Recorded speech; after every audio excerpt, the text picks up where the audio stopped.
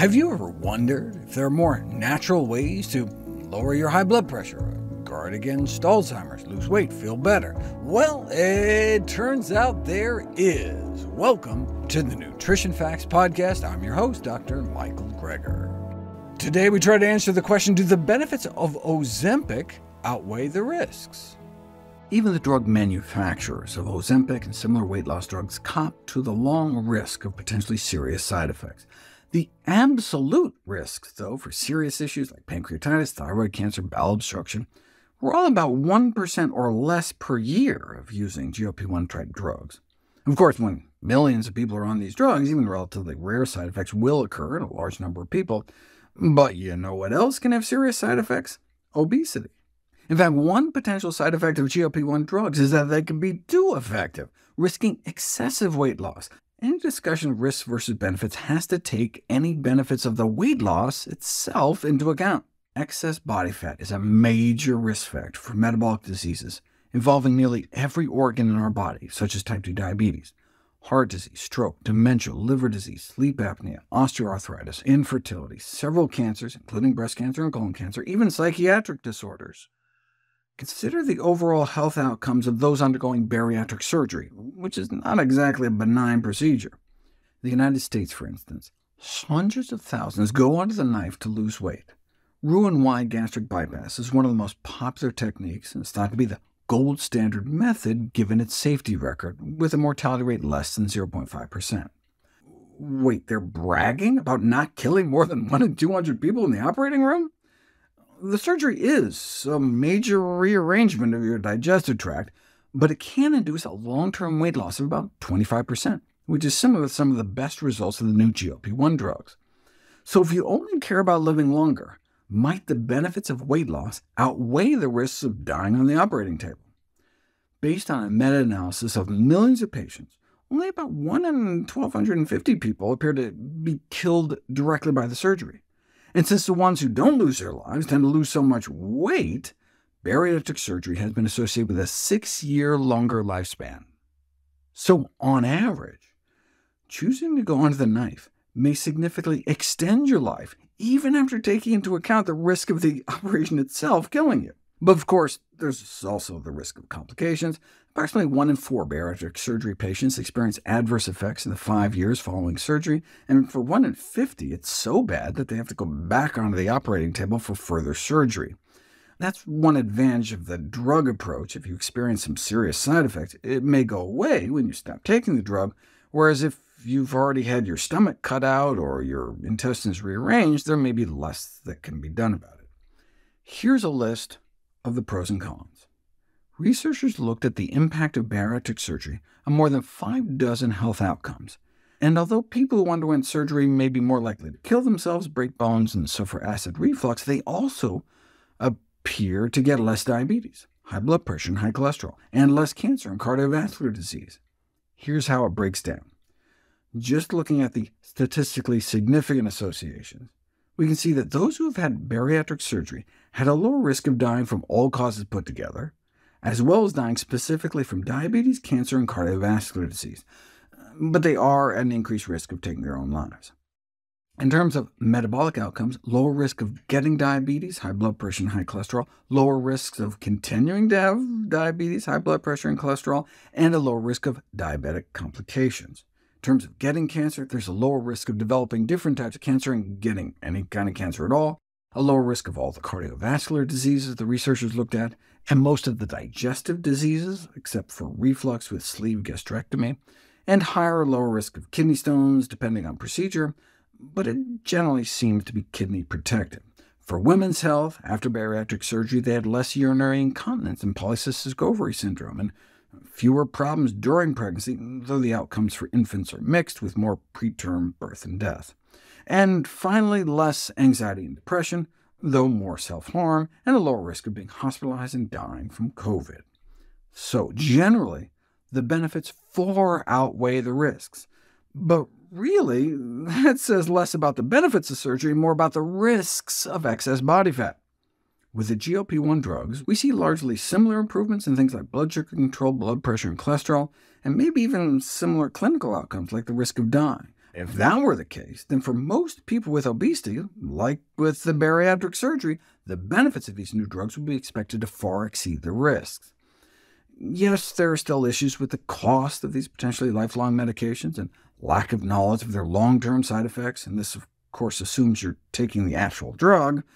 Shortages of these pills have led patients to compounding pharmacies that offer versions of the drugs that have not been approved by the U.S. Food and Drug Administration, which in the past has led to serious safety issues, like an epidemic of fungal meningitis caused by moldy bottles of drugs from compounding pharmacies. 751 patients were ultimately affected, and more than 60 patients died.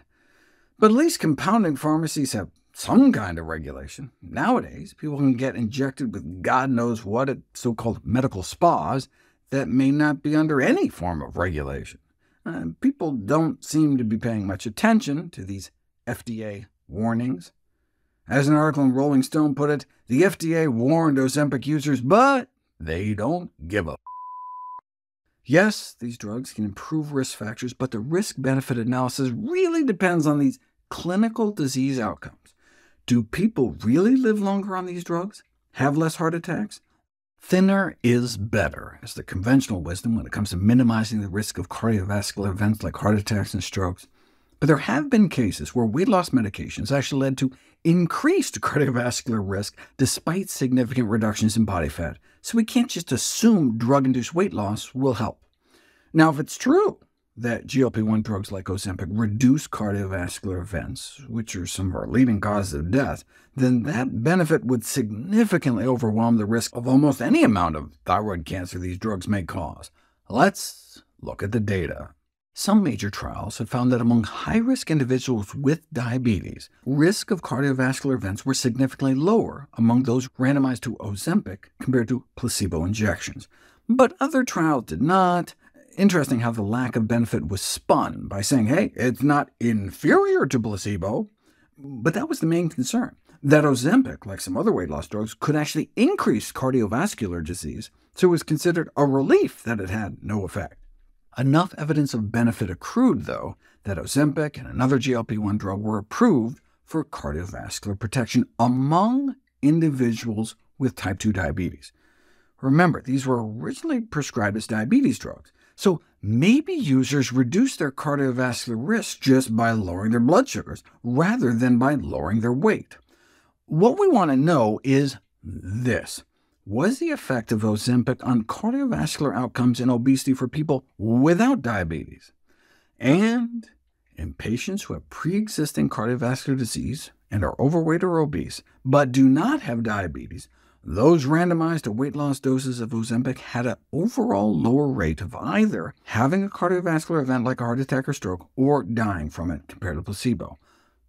That's exciting, but we have to highlight another caveat, though.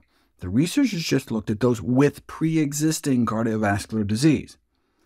That's an important limitation of these findings. The effects of these weight loss drugs on the prevention of cardiovascular events in those without diagnosed atherosclerotic disease have not yet been determined. Still, a lot of overweight people have a history of a heart attack, stroke, or peripheral vascular disease, so how big is the benefit? Over a period of a few years, 8% of people with cardiovascular disease suffered another event on the placebo, but only 6.5% suffered a subsequent event on the drug. Going from 8 to 6.5 is a 20% drop. Unfortunately, many news stories focused on that 20% relative risk reduction, rather than on the absolute risk reduction of 1.5%. Yes, 8 to 6.5 is a 20% drop, but at the same time you're really only reducing your absolute risk by 1.5%. In other words, you'd have to treat 67 people with the drug for a few years to prevent one heart attack or stroke or cardiovascular death. That may not sound like much on an individual scale. I mean, what are the odds you're going to be that 1 in 67th person? But on a population scale, it's huge. In fact, it's right up there with cholesterol-lowering statin drugs, which have an absolute risk reduction in the same 1.5% ballpark. So indeed, in March 2024, the Food and Drug Administration approved high-dose Ozempic for use beyond just weight loss, but also for reducing cardiovascular risk in those with prior cardiovascular disease. So, how do the benefits and harms stack up? In the summer of 2024, the first quantitative benefit-harm balance analysis was published. The researchers concluded that for those achieving a 10% weight loss, there's more than a 90% chance the benefits outweigh the harms, though the opposite was found for only a 5% weight loss. Here's how they broke it down. If 1,000 people go on these GLP-1 drugs, 375 would be expected to lose at least 10% of their body weight, with all the ancillary benefits that would bring. On the other side of the equation, 41 people would suffer from abdominal pain, 57 from hair loss, 8 from gallstones, 118 from constipation, 100 from diarrhea, 22 from dizziness, 84 from an upset stomach, 46 from excessive burping, 39 from fatigue, 51 from excessive farting, 13 from headaches, 17 from low blood sugars, 4 from reactions at the injection site, 221 would suffer from nausea, 4 from pancreatitis, 43 from upper abdominal pain, and 110 from vomiting. Now, of course, the net benefit versus harm calculation would be highly dependent on different people's willingness to accept different harms, like a bald guy isn't going to be concerned about hair loss, for example. And this also doesn't take into account the fact that the benefits peter out. Right? Weight loss stalls after a year, but the harms may continue. So once you've already plateaued and stopped losing weight, do you keep taking it, even though you get no further weight loss benefit, but the potential for harm continues to accumulate? We really don't know about the long-term harms or benefits because some of these drugs and dosing schedules are so new, especially now that the American Academy of Pediatrics has suggested offering these drugs for teens and tweens as young as age 12. These drugs work by acting on the brain, so who knows what effect this could have on childhood development and beyond if they end up taking them for the rest of their lives. In the end, this story is familiar. A new class of anti-diabetic agents is rushed to market and widely promoted in the absence of any evidence of long-term beneficial outcomes. Evidence of harms accumulate, but it's vigorously denied or discounted the manufacturers are expected quite unrealistically to monitor the safety of their own products. we should be thankful that those responsible for aircraft safety do not operate under the same assumption. Although we now do have evidence of at least near-term benefit over a few years, we cannot assume long-term safety until it has been demonstrated. Visit nutritionfacts.org/audio to see all the podcast episodes with descriptions that include links to their associated videos, Sources cited and other details are available on each video's page. Information about my books, How Not to Die, How Not to Diet, How Not to Age, is at nutritionfacts.org/books. All proceeds from book sales go to charity, and sign up for our free newsletter at nutritionfacts.org slash subscribe to stay updated on the latest bite-sized videos and articles.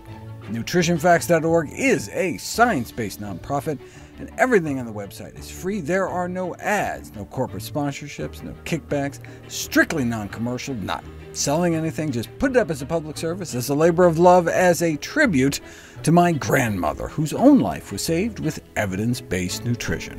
Thanks for listening.